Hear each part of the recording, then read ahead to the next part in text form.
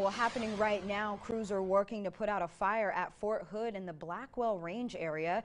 These are pictures from Fox 44 viewers who are seeing smoke in the Fort Hood area. Officials say there is no immediate danger to people on post or buildings. Firefighters are working on the ground and in the air to contain the fire. We'll bring you the latest as the situation develops.